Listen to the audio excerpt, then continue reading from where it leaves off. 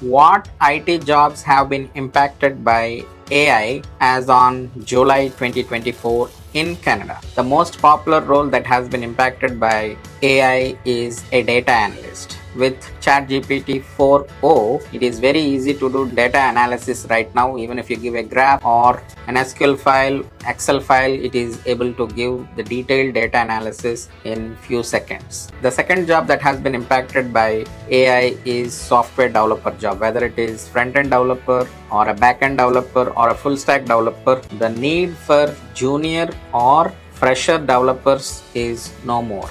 Now the hiring is happening only for senior software developers with at least 5 plus years of experience. Same is the case with data science because data science being the starting step for AI, they are not trying to hire anybody who is a fresher or a junior. They would rather hire somebody who can deliver from day one.